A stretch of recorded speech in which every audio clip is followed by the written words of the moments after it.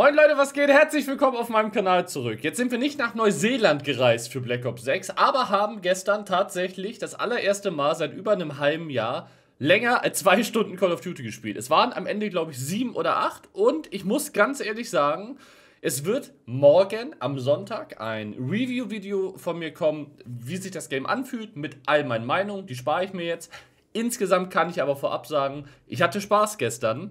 Das Einzige, was mich wirklich, wirklich genervt hat, ist, dass wir dieses Jahr so viele Settings haben, so viele neue Settings, Einstellungen, die wir vorher gar nicht hatten, die jetzt plötzlich anders heißen. Es hat locker eine Stunde gedauert, bis ich alle Settings so hatte, wie ich sie haben wollte, damit ich so spielen kann, wie ich spielen möchte. Damit ihr euch den Aufwand spart, gibt es wie jedes Jahr von mir mein Controller-Setting-Video für euch, für die Grafikeinstellungen, für die FPS-Einstellungen, für die Audio-Einstellung und für die Controller. Das heißt, wenn euch das gefallen hat, lasst ein Like da, lasst ein Abo da. Wir gehen durch die wichtigsten Sachen durch und ihr dürft dann wie jedes Jahr auch Feedback geben, ob da irgendwas ist, was ihr unbedingt ändern würdet oder ob euch das vielleicht sogar geholfen hat. Es ist für mich insane, wie viele Settings es dieses Jahr hier schon wieder gibt. Es ist einfach viel zu viel eigentlich und ich finde auch, es überfordert einen fast schon. Jedes Jahr switche ich zwischen 6677 bei den horizontalen vertikalen Empfindlichkeit. Ihr wisst, ich habe ja meinen nagelneuen Controller von OMGN bekommen. Äh, ich habe hier die Hall Effect Sticks und bin von 7.7 auf 6.6, weil der Widerstand für mich so passte, dass ich einen runtergehen konnte. Das hier wollt ihr alles aushaben. Ihr wollt Motorikentlasten aushaben, die Steuerungsvoreinstellung wollt ihr aushaben. Das ist alles Quatsch, das sind alles Presets, die ihr alle überhaupt nicht braucht für euer Game.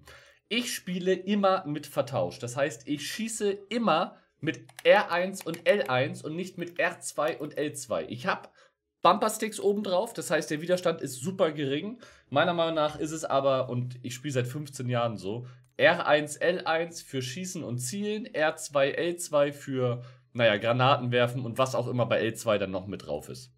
Controller-Vibration aus. Wenn ihr es anmacht, dann spielt Kampagne.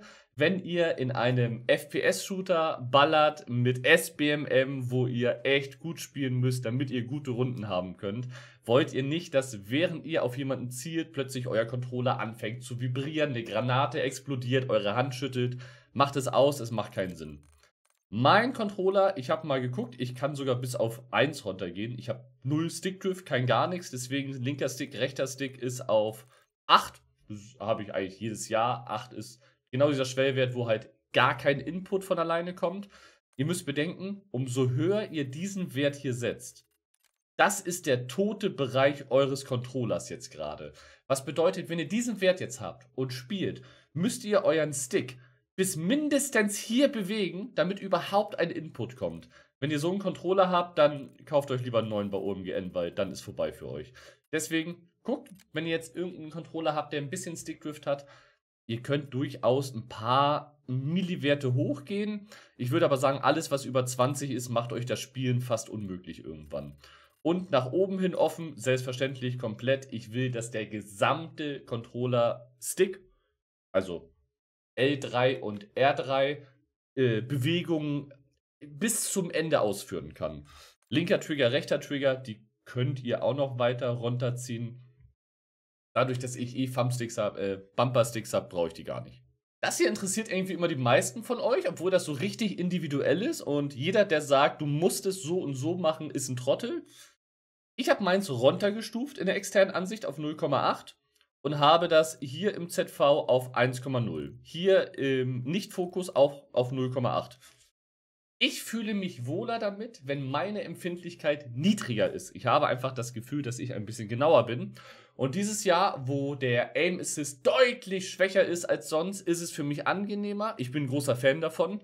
Die Maus- und Tastaturspieler, manche davon werden trotzdem weiter heulen und sagen, ey, bitte obwohl er gefühlt fast gar nicht mehr da ist. Vor allem in Close Range ist er einfach komplett weg. 0,8 meiner Meinung nach das Beste für mich mit meinem Controller, mit meinen Händen, damit ich ordentlich zielen kann und auch Ziele tracken kann. Wenn ihr Gamer seid, die extrem hohe Empfindlichkeiten gewohnt seid, müsst ihr eben ein hohes spielen. Relativ easy. Es gibt hier erweiterte Zieleinstellungen. Das ist nicht ganz unwichtig, denn wenn ihr hier mal drauf guckt, Zielreaktionskurve, dann könnt ihr euch mir anzeigen lassen. Die Skalierung würde ich so lassen, wie sie ist. Ich bin Linearspieler. Schon Ewigkeiten gewesen. Äh, das Zielstick bestimmt direkt die Zielrate. Das heißt, so viel Input, wie ich gebe, so viel zielt der Controller auch 1 zu 1. Wenn ihr Anfänger seid, steht hier, sollt ihr Standard nehmen. Mein ehrlicher Tipp, fangt direkt mit Linear an. Ihr habt das beste Handling für euren Stick, ihr habt das beste Handling für euer Aim. Und selbst wenn ihr ganz am Anfang noch nicht 100% drauf klarkommt, das sind Gewohnheitssachen und Lernsachen. Spielt ihr ein bisschen, gewöhnt ihr euch dran. Habt ihr euch ein bisschen dran gewöhnt, ist alles in Ordnung. Es macht für mich keinen Sinn, mit Standard zu spielen. Dynamik, ja. Bei Dynamik ist das Problem, es geht extrem schnell los mit dem Aim und dann verlangsamt er aber. Das heißt, man übersteuert sehr, sehr oft am Anfang. Bin ich persönlich kein großer Fan von. Und dann Übergangszeit, graduell, gibt es keine andere Option für mich. Die Übergangszeit ist nichts anderes, äh, wie die Empfindlichkeit vom Hüftfeuer zur Zielvorrichtung ist. Wie oft kommt es vor, dass ihr aus der Hüfte feuert und dann ins Scope geht? Macht graduell und dann habt ihr keine Kopfschmerzen. Hier kommen wir zu einem der Probleme, was ich relativ lange hatte. Mein, mein Controller oder mein Charakter hat sich so angefühlt, als wenn er den Taktiksprint nicht richtig nutzen würde. Und ich saß hier im Stream und bin fast verzweifelt, weil ich es einfach nicht verstanden habe. Wir haben dieses Jahr Taktik-Sprinthilfe. Sprinthilfe an und aus. Bei Gott, ich weiß nicht, warum man sowas reinbringen muss. Es verwirrt einfach nur und hilft niemandem. Wichtig, wichtig, wichtig, Leute. Wenn ihr bei einfachen Klicken auf euren Taktiksprint wollt, was ihr eben machen müsst, damit ihr euren Controller nicht komplett zerfetzt, euren Finger nicht zerfetzt und ganz normal Slide Cancel und alles machen könnt, Taktiksprinthilfe auf an, die Taktiksprint-Verzögerung auf Null. Ihr wollt keine Verzögerung. Es macht keinen Sinn, die drinne zu haben. Und dann seitwärts Sprint-Unterstützung und rückwärts beides auf an. Damit habt ihr einen von zwei Schritten gemacht, damit das mit dem Taktiksprint normal funktioniert. Den zweiten Schritt, zu dem kommen wir gleich in den Settings, zeige ich euch dann. Eckenblick aus. Das ist dieses, wo ihr an eine Tür rangeht und dann nur euer Kopf so durchguckt und eure Waffe und ihr so im, im Türspalt gucken könnt. Das bringt euch nichts, denn auf der einen Seite habe ich gedacht, naja, ein Gegner erkennt einen dann gar nicht. Das ist aber Quatsch. Der Gegner erkennt euren ganzen Charakter genauso, als wenn ihr das nicht anhättet. Also könnt ihr es ausmachen. Tipps zum Rutschen habe ich, weil Rutschen ist damit am einfachsten. Danach halte ich für Hechtsprung. Hechtsprung nutze ich so gut wie nie. Automatisches Klettern habe ich an, stört mich nicht. Es gibt im Multiplayer kaum mal einen Moment, wo man aktiv wirklich klettert. Sprintwiederherstellung habe ich an, Rutschen verlängert den Sprint habe ich auch an, Klettern bricht Nachladen ab habe ich an, sind so normale Sachen. Und hier kommen wir jetzt zum zweiten Thema, was wieder wichtig ist, damit der Taktiksprint bei euch normal funktioniert. Und zwar hier, Taktiksprintverhalten Aktivierung. Ich habe es erst beim Laufen drücken gehabt und ich bin immer losgelaufen, dann ging er in den Taktiksprint, hat aufgehört und dann musste ich in meinen Controller reinknallen, damit er wieder in den Taktiksprint geht. Und das hat mich maximal abgefuckt. Und dann habe ich irgendwann beim Sprint drücken nochmal probiert. Ich weiß nicht, warum sie es auch vor allen Dingen in der Bezeichnung ändern. Denn vorher war es so Taktiksprint, bei einmal drücken ja, bei zweimal drücken nein. Ganz einfach. Beim Sprint drücken. Ihr geht einmal ganz leicht mit dem Controller in den Sprint und er geht in den Taktiksprint. Das ist genau das, was ich möchte. Das heißt, wenn ihr Probleme habt, dass euer Charakter irgendwie nicht richtig losrennt, nicht richtig sprintet, probiert es mit beim Sprint drücken und damit habt ihr dann keine Kopfschmerzen und es funktioniert ganz normal. Das hier gebe ich euch als, ihr könnt euch einen Screenshot machen oder Video pausieren. Hier habe ich eigentlich nichts wirklich anders eingestellt. Bei mir war Panzerplattenverhalten auf eine anwenden. Ich habe auf alle gemacht. Äh, das ist später für Warzone wahrscheinlich wichtig. Ich habe jetzt noch nicht gesehen, dass es Panzerplatten im Multiplayer gibt. Wenn es doch welche gibt, ist es sinnvoll, wenn man sich alle geben kann, statt nur einer. Grafik. Viele von euch wollen ja möglichst viel FPS haben. Und das kommt natürlich immer darauf an, was für eine Grafikkarte ihr habt. Also ich spiele ja mittlerweile mit meinem 2K-Monitor. Das Ding ist ja mega geil. Den seht ihr hier, das ist der H27. Ich habe eine 3080. Eigentlich eine sehr gute Grafikkarte. Ihr seht es hier. Ich habe gestern in 2K gestreamt. Ich spiele in 2K und habe festgestellt, dass 2K-Stream auf Twitch leider nicht so geil ist, weil Twitch einfach die Bitrate, das heißt, wie viele Bilder ich hochladen kann, nicht wirklich allzu hoch hat, weshalb ich wieder zurückgegangen bin. Ich spiele in 2K, aber stream in Full HD. Hier braucht ihr erstmal nicht allzu viel machen, Shader laden, bla bla. Nvidia Reflex an. Ihr wollt keinen Input-Delay haben. Sehr, sehr wichtig. Zieht euch auch keine Leistung, macht es an, sobald ihr eine Nvidia-Grafikkarte habt, alles gut. Ökomodus auf Effizienz habe ich eingestellt, habe ich, macht glaube ich keinen großen Unterschied. Ich würde es aber anhaben, ihr seid sicherer damit. Meine eigene Bildwiederholungsfrequenz. Ich habe einen 165 Hertz Monitor. Das heißt, ich schaffe 145, 165 FPS. Wenn ihr einen 120 Hertz Monitor habt, reicht euch, wenn ihr hier 120 einstellt. Umso höher euer Bildwiederhollimit, umso höher ist die Leistung, die euer PC braucht, damit es funktioniert. So, ist ja klar, ne? Umso mehr Bilder er generieren soll, umso mehr Leistung zieht. Wenn ihr parallel noch Streamer seid, dann und nur einen PC habt, das geht alles auf eure Grafikkarte, wenn ihr clever seid und über NVENC, also Nvidia Grafikkarte, auch rendert. Deswegen, und hier außerhalb des Fokus, das ist, wenn ihr raustappt, wenn ihr bei Google irgendwas zwischendurch guckt, auf 30 FPS, da brauche ich nicht mit 160 FPS mein Menü im Hintergrund haben. Menü-Renderauflösung auf optimal, verringerte Szenenauflösung, leicht, hilft aber 3, 4, 5 FPS dazu zu bekommen. HDR habe ich auch aus, also auch aus, bringt mir nichts, ist nicht optisch wirklich schöner, ganz im Gegenteil sogar, weg damit, braucht ihr nicht. Hat sie erledigt. Hier, jetzt kommt es wichtig. Ich habe direkt auf eigene gemacht. Ich spiele Multiplayer und ich spiele kein Story-Game. Mir ist egal, ob dieses Game bildhübsch aussieht oder nicht so hübsch. Ich möchte, dass das Game Leistung hat, dass ich genug Frames habe, so dass ich mich im Game wohlfühle. Deswegen sind meine Grafik-Settings alle relativ niedrig. Dadurch, dass ich jetzt heute auch nicht mehr in 2K streame, könnte ich sie wahrscheinlich fast alle auf Ultra machen und höre trotzdem meine FPS. Juckt mich aber nicht so sehr. Nvidia DLSS unbedingt an und auf Leistung.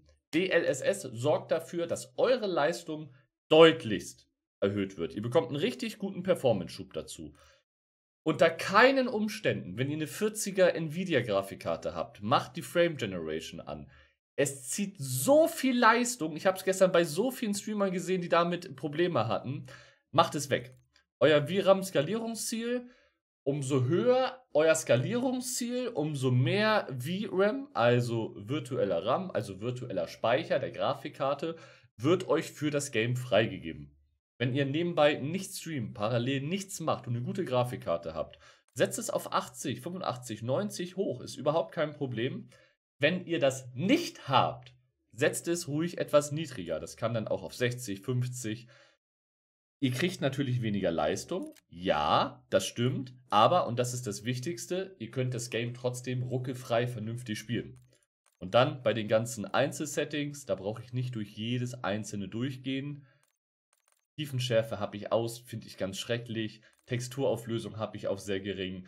Wenn ihr ein richtig schönes Bild haben wollt, dann macht es hoch, aber jedes einzelne dieser Settings kostet euch richtig viel Leistung.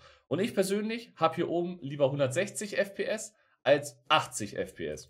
Das ist meine persönliche Präferenz, wenn es euch gar nicht juckt. Alles in Ordnung für euch. Settings wie Schattenqualität unbedingt auf sehr gering. Hohe Schattenqualität zieht richtig viel Leistung. Und Screen Space Schatten war der Grund, warum das Game in der Beta bei mir geleckt hat wie Sau unbedingt ausschalten. Das zieht euch so viel Leistung, genauso wie Screenspace-Reflexion, wollt ihr definitiv absolut nicht haben. Wasserqualität, Wetter, Wässer, Wettereffekte. Wettereffekte ziehen auch super viel Leistung, sind auch null notwendig. Also wenn ihr die unbedingt haben wollt, macht sie rein. Aber wie gesagt, Leistung vor Aussehen bei mir und deswegen, ihr könnt natürlich auch die Settings für eure Leistung, für optimale Leistung einmal nehmen und dann Stück für Stück in der Runde vielleicht ändern, wenn ihr irgendwo doch noch eine Änderung haben wollt. Bleibt euch überlassen, habe ich ja überhaupt keine Probleme mit. Das hier ist nur das, womit ich mich seit Jahren wohlfühle und so wie ich spiele, passt es einfach. Das hier sind jetzt ein paar der wichtigsten Settings überhaupt. Sichtfeld FOV 117, bei mir ist seit Jahren 117. Es gab mal in Cold War den Bug, dass wenn man über 117 genommen hat, dass der Aim Assist nach unten gegangen ist und seitdem habe ich mir gemerkt, ich mache einfach 117, falls das irgendwann wiederkommt. Ich persönlich komme gut damit zurecht, Gegner zu spotten.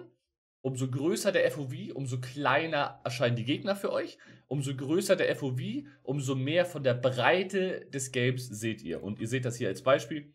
120er FOV seht ihr diesen ganzen Bereich. Bei 60 FOV seht ihr nur diesen Bereich. Dadurch, dass ihr nur diesen Bereich seht, ist aber auch alles größer, was ihr dort seht. Meiner Meinung nach 117 schon seit Jahren hat mich nicht gefällt. Könnt ihr für euch natürlich selber entscheiden wieder. Hier, ganz, ganz wichtig, äh, wo ist es? Bewegungsunschärfe von den Waffen und von der Welt. Aus. Ich weiß nicht, warum es dieses Setting überhaupt gibt. Weder in der Kampagne ist das angenehm, noch im Multiplayer, noch in Zombies, noch sonst wo. Ihr wollt nicht, dass der Bildschirm die ganze Zeit irgendwie unscharf ist und sonstiges. Ihr wollt ein klares Bild haben. Bei mir hat das hier auf an sogar schon nach ein paar Minuten dafür gesorgt, dass mir ein bisschen übel wird. Deswegen weg damit ist absoluter Quatsch. Kamerabewegung minimal, beides auf so niedrig wie ihr könnt. Mir wäre es am liebsten, wenn ich es auf Null stellen könnte. Das ist aber leider seit Jahren nicht möglich. Und dann das allerletzte, was für euch, weil Grafik wichtig ist, invertierte Blendgranate. Ihr könnt es anmachen, dann werdet ihr nicht direkt so weiß geflasht, sondern es andersrum. Erst dunkel, dann weiß. Macht keinen Unterschied am Ende des Tages, außer es fuckt euch so sehr ab, dass euer ganzer Bildschirm so sofort erhält. Dann macht ihr invertiert, dann ist es ein bisschen angenehmer, würde ich sagen. Und dann eure Audio-Settings. Da gibt es tatsächlich gar nicht so viel, was ihr da irgendwie machen könnt. Ihr kennt das bei mir, alles was Musiklautstärke angeht, habe ich in Call of Duty aus. A, spiele ich sowieso eigentlich immer im Stream. Ich habe meine eigene Musik. Ich brauche die Musik in dem Game nicht. Ich brauche nichts, was mich ablenkt. Ich will, dass ich die Effekte höre. Magazine, die nachgeladen werden, Granaten, die geworfen werden, die gezündet werden und Spielgesamtlautstärke einfach auf 100. Das sind aber sehr persönliche Sachen. Wenn ihr sagt, ihr habt richtig Bock auf die Spielmusiklautstärke oder Spielmusik, macht so laut wie ihr wollt, ist eure eigene Entscheidung am Ende. Ich spiele auf einem Treyarch-Mix, da gibt es verschiedenste Optionen, die ihr nehmen könnt, die ich anscheinend gerade nicht auswählen kann, was auch interessant ist. Okay, ich musste auf diesen Stern klicken, damit ich was auswählen kann. Ich finde den Treyarch-Mix eigentlich in Ordnung, um ganz ehrlich zu sein. Äh, ich habe die anderen ehrlich gesagt aber auch noch nicht probiert. Ich habe in der Beta damit gespielt und ich muss euch ganz ehrlich sagen, ich höre Steps wunderbar, ich höre das Game wunderbar. Für mich gibt es gar keinen Grund, hier irgendwas anderes zu nehmen, weil es einfach eins zu eins passt. Und anscheinend, wenn man diesen Stern macht, kann man es nicht mehr ändern. Sehr verwirrend. Okay. Diese Hörkompensation ist das, worüber wir extra ein Video gemacht haben, mit sollte man 20 Euro dafür zahlen oder nicht. Ihr könnt das normale Setting, das ist die universelle Einstellung, einstellen. Ich habe es gestern zwei Runden probiert und muss ganz ehrlich sagen, ich mit einer normalen Hörform ohne Hörprobleme habe keinen positiven Effekt da äh, festgestellt. Also ich brauche es nicht. Wenn ihr irgendwie Beeinträchtigungen oder sonstiges habt, probiert es gerne mal. Ich habe auch ein paar Kommentare gesehen, die richtig sauer wurden, dass so eine Option für 20 Euro drin ist. Und an euch muss ich ganz ehrlich sagen, es gibt seit über zwei Jahren in Warzone den Sound Equalizer, der komplett umsonst ist, womit die Leute ihre Game Sound komplett schreddern und alles so einstellen, dass sie Steps auf 800 Metern hören. Da hat sich komischerweise bisher auch keiner wirklich beschwert und das können alle PC-Spieler. Also ich würde mich nicht so sehr über solche Sachen aufregen, die einen gar nicht wirklich beeinflussen. Und wenn ihr einen Tinnitus habt, letzte wichtige Sache, ich weiß, dass bei mir in der Community manche so ein Problem haben. Grüße an Manti geht raus. Stellt das mal ein. Guckt mal, ob ihr eventuell damit so ein bisschen das Problem lösen könnt. Würde ich euch natürlich von Herzen gönnen. Ich habe gestern noch im Stream gesagt, dass dadurch, dass wir so viele Settings haben und die so unterschiedlich mittlerweile klingen und heißen, dass wir mit Sicherheit ein Video haben, was wahrscheinlich viel zu lang ist für ein Einsteller-Setting. Aber ist wichtig und ich gönne es jedem, dass er seine besten Settings findet und deswegen bin ich der Meinung, haben wir zumindest unser Bestes getan. Ich hoffe, euch helfen die Sachen. Ich hoffe, ihr habt Spaß bei dem Game. Das gönne ich einfach jedem mit allen Problemen, die dieses Game irgendwann haben wird. Wenn es euch geholfen hat, lasst ein Like da, Leute, lasst ein Abo da und morgen kommt mein Review zum Game und dann gucken wir weiter. Haut rein.